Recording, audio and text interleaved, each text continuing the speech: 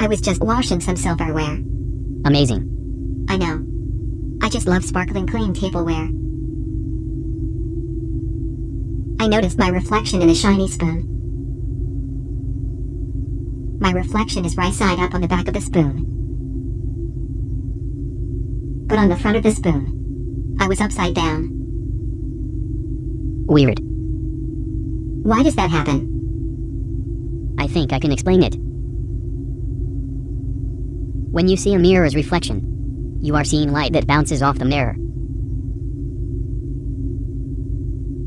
But the mirror inside a spoon is bent, so it bounces light beams to the opposite sides. Oh. So when the light gets bounced to the opposite sides, the picture looks upside down. That's right. I still wonder. Why does the back of the spoon make me look so small?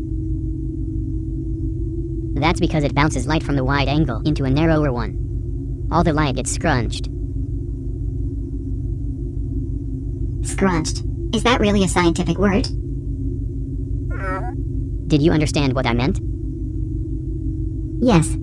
The bent mirror smooshes the light of a big image, making it appear smaller. Ah. Should I have said smush instead of scrunch? That's right. I know all the sciency words. I'm super sciency. Ugh.